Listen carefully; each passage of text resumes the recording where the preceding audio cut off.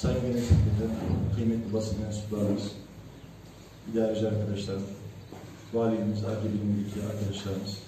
Öncelikle bu toplantı için Sayın Genel Sekreterime, Sayın Valimize çok teşekkür ediyorum. İlimizde yapılan faaliyetler, e, basın mensuplarımızla paylaşılması, Aksaray ile ilgili yapılan projelerin kamuoyuna yansıtılması önemli bir e, e, faaliyet. Efendim Sayın Valimizin himayelerinde bütün kurumlarımız, e, genel sekreterlerimizle başta olmak üzere hep birlikte, el birliği içerisinde yoğun bir çalışma sürecinin içerisindeyiz. İnşallah bunların yansıması hizmet olarak ilimize çok yönlü dönüsü olur diye düşünüyorum. Çünkü bazı faaliyetler birbirleriyle ilintili. Yani bizim milli eğitimle olan bağlantılarımız var. Ee, efendim milli eğitimin gençlik sporla olan bağlantıları var.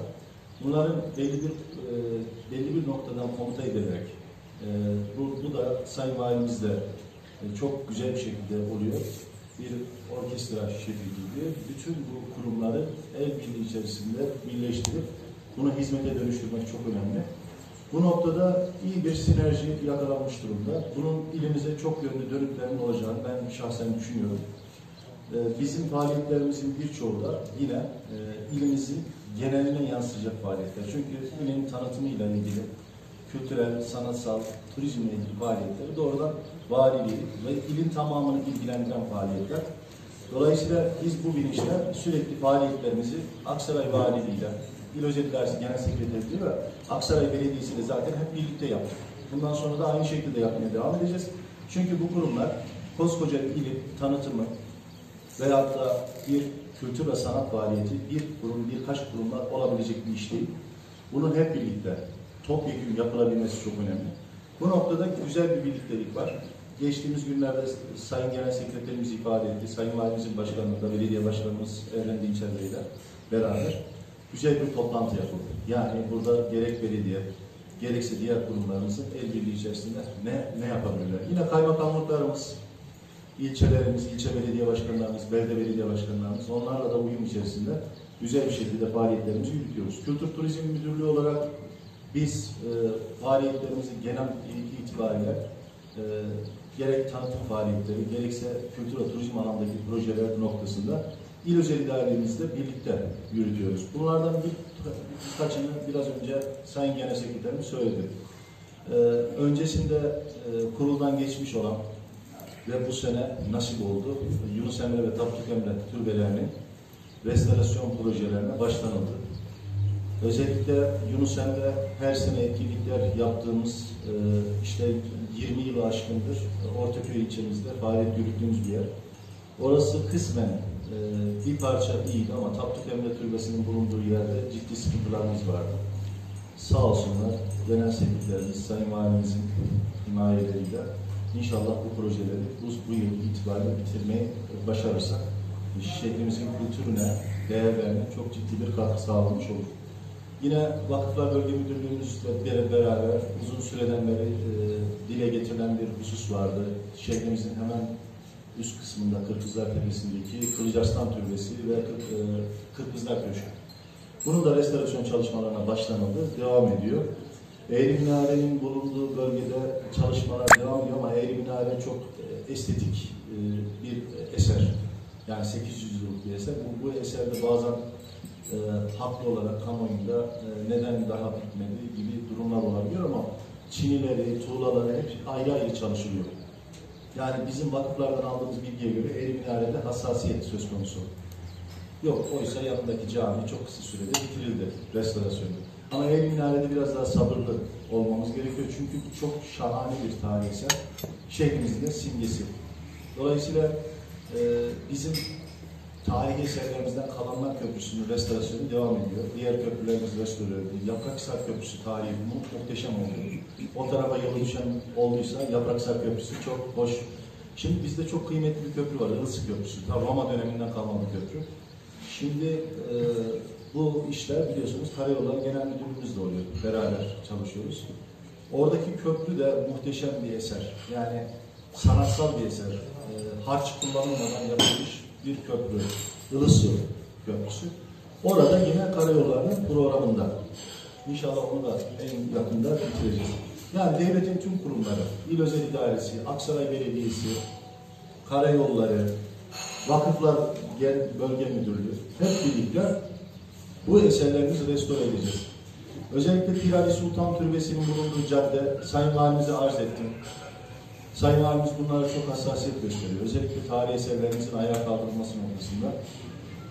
Pirali Sultan bizim çok kıymetli bir büyüğümüz. Kendisi e, özellikle Hacı Bayram'ın Bayramilik, Merami Bayramilerinin Aksaray temsilcisi, muhteşem bir isim. Pirali Sultan Aksaray'ı. Kendisi bizim Kültür Turizm İl Müdürlüğümüzün bulunduğu caddede Bedriye Medresesi'nin arkasında türbesi. Buraya iki yıldır uğraşıyoruz. Buranın projelerini geçirmek kuruldan geçti. Buraya da inşallah başlanacak. Orada bir de arka tarafında mescidi var. Pirali Sultan Türbesi'nin arka tarafında. O mescitte o türbe daha güzel bir şekilde olabilirse bir de Vehbi Bey Konağı'na kadar o caddenin tarihi ve kültürel bir cadde haline dönüştürülmesi. Bu en büyük arzumuz. Bir başka ada, tarihi ada biliyorsunuz Yusuf Akif Baba, Melik Mahmut Gazi Hangahı. Melik Mahmut Gazi Hangahı halk arasındaki ifadesiyle darphane, burası da restore edildi. Buraya da bir fonksiyon verilecek. E, Perekler Konağı ve onun üstündeki İlerler Konağı. Bizim hedeflerimiz bunlar. Burayı bir tarih adasına dönüştürmek. Yusuf Hakiki Baba, e, Perekler Konağı, İlerler Konağı. Bunlar tamamlandığında şu olacak. Bir hilal projesi demiştik biz.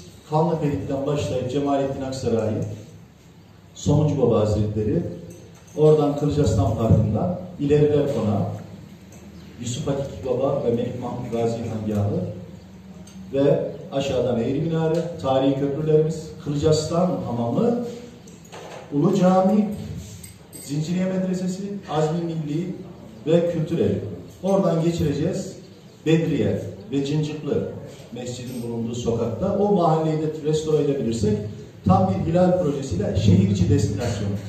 Bunun tamamlayıcı yeri de Aksaray Müzesi. Çünkü Aksaray Müzesi harika. Ben buradan e, kıymetli basın mensuplarımıza buradan istirham ediyorum. Aksaray Müzemiz çok kıymetli. İçine giren şaşkınlığını ifade ediyor. Diyor ki nasıl böyle bir müze Orta Anadolu'da? E, Çünkü bizim müzemizde başka müzelerde olmayan şeyler var. Bir kere Türkiye'de en güçlü mumya seksiyonu olan müze Aksaray Müzesi. Dolayısıyla Aksaray Müzemizi biz hiç küçümsemiyoruz. Bizim müzemizden, bizim alanlarımızdan çıkan tarihi eserler efendim Niğde Müzesi'ni doldurmuş vakti zamanında. Anadolu Medeniyetler Müzesi'nde çok fazla sayıda Aksaray eseri var. Şimdi Aksaray Müzesi'nin depolarında 16 binin üzerinde eser var. Bizim şu anda devam eden 3 tane bilimsel kazımız var. 2 tane daha ekliyoruz kısmet olursa. Ee, Bunlardan bir tanesi Hasan Dağ'daki Makisos, Nora. Bunun hocası bulundu. Bu sene bilimsel kazılarımızın ön hazırlıkları yapıldı. Şeyde mesela Gülağaç'ta çok önemli bir yer bulduk. Balıklı, iki yıldan beri çalışıyoruz. Muhteşem veriler ortaya koyuyor. Yani e, şeyle çağdaş, aşık büyükler ama farklı bir medeniyet. İşte biz Balıklı'yı da alabilirsek, Nora, Balıklı, o zaman şehrimizde Cumhurbaşkanlığı onaylı 5-6 tane kazı olacak ki Orta Anadolu'da böyle bir şey yok. Yani biz Aksaray'ın tarihi eserlerinin ortaya çıkartılması, buraların kazı alanına dönüştürülmesinde çok önemsiyoruz. Hasan Dağı ile ilgili çalışmalarımızı İl Özel İdaremizde Sayın Sekreterime arz ettim. Hasan Dağı bizim için çok büyük bir değer. Burada bir takım turizm faaliyetlerini yürütüyoruz ama biz burada şeyi hedefliyoruz, kış sporlarını hedefliyoruz. Kış sporları ve Hasan Dağı'nın 12 ay turizmin yapılması. Bizim ana projemiz şu. Ihlara'ya gelen turisti Hasan Dağı bölgesine kaydırmak. Bunun için de şu anda İl Özel İdaremizle beraber bakanlık yatırım işletmeleri görüşmelerini sürüyor. Hasan Dağı, Helvadere ile Ihlar arasındaki yolun yapımı Helvedere'den de 2000 metreye çıkan, kış sporlarına çıkan yolun yapımı önceliğimizdir. Bunun için uğraşıyoruz. Bu yolları sıcak asfalt şeklinde bitirebilirsek bizim Hasan Dağı'nın turizme açılması noktasında önemli bir adım atarız. Ama Hasan Dağı size yalnızca doğal güzellikler sunmuyor. Biraz önce Nora'dan bahsettim. Nora'da kazılar başladığında şunu göreceksiniz. Nora Anadolu'nun efesi. İç Anadolu'nun efesi olarak tanımlanıyor. Bunları önümüzdeki süreçte daha iyi göreceğiz. Ihlara Vadisi'nin kasaba içerisinden bir giriş vermeye çalışıyoruz. Son giriş. Bunu da tamamladığımızda 14 kilometrenin tamamında artık yürüyüş devam ediyor. Yani siz Ihlara Vadisi'nde nereden girerseniz girin 14 kilometre yürüyebileceksiniz. Son etabı kasaba içinde çalışıyoruz şu anda. Bunu bitirdiğimizde kasaba içinden de bir girişi Ihlar'a vermiş olacağız. Nabigör beli sırmayı Sayın Genel Sekreterim söyledi. Buralarla çok sıkıntılı beli sırmada durumlarımız var. Bunların aşılması için valiliğimiz, şu anda Çevre Şehircilik Bakanlığımız da işin içine girdi. İl özel idaremiz.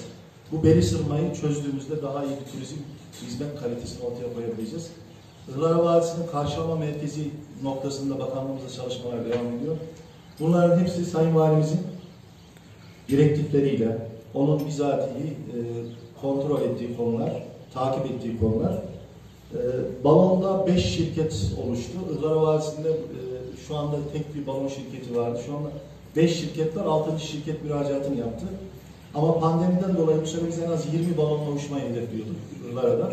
Geçen sene biz yaklaşık 15 bin turist uçurduk Ihlara Vadisi'nde. Tek şirketle. Şimdi 5 şirket izinini Sivil Havacılık Genel Müdürlüğü'nden aldı. 6. şirketin müracaatı yapıldı. Hedefimiz şu, Ihlara'da önü, pandemiyi düşünmezsek önümüzdeki süreçte biz en az 20-30 balonla kalkış yapacağız. Sürekli Ihlara Vadisi'nde balon uçuyor. Bir taraftan ATV müracaatında bulunanlar var. Ee, atlı tur, yani bir de vadi içerisinde kano girişimimiz var. Bunların hepsini bir çırpıda yapmak mümkün değil. Ama bir işin bir ucundan tutmamız gerekiyor. Yani bununla diye hemen olacak şeyler değil. Ama sabırlı gitmemiz lazım. Hiç olmazsa bunlardan bir tanesini çıkartırız. Zamanla bu şey e, daha şey büyük işlere dönüşür. Mesela 10 yıl önce başlattığımız bir Malatya çalışması nereden nereye getirdi bizi? İlk başta belki eleştirilmişti. Aksaray Malatya'yla mı tanıtılacak? Esasen böyle bir amaç yoktu. Aksaray'ın her şeyiyle tanıtacak. Bir taraftan türkülerini yaptık TRT ile. Bir taraftan yemekleri yapıldı. Aksaray yemekleri. Aslında bakarsanız bunların hepsi bir değer. Coğrafi işaret çalışmalar yapıldı. Şimdi Tarım Müdürlüğümüzün 3 tane yeni müracaatı var. Aksaray Belediyesi'nin var. Evet, onay aşamasında. Neticede ben acizane şunu anlatmak istiyorum. Bir şehrin topyekun ayağa kalkması bir süreçle alakalı ve iyi ekiplerle alakalı. Biz Aksaray olarak böyle bir ekibe sahip olduğumuzu düşünüyorum. Sayın Valimizin başımızda bizler de emeğimizi hizmetlere esirgemeden çok hızlı çalışmamız lazım. Çünkü bizim vilayet olmamaktan kaynaklı bir kaybımız da var. Bunu da bir kere bir kenara koymamız lazım.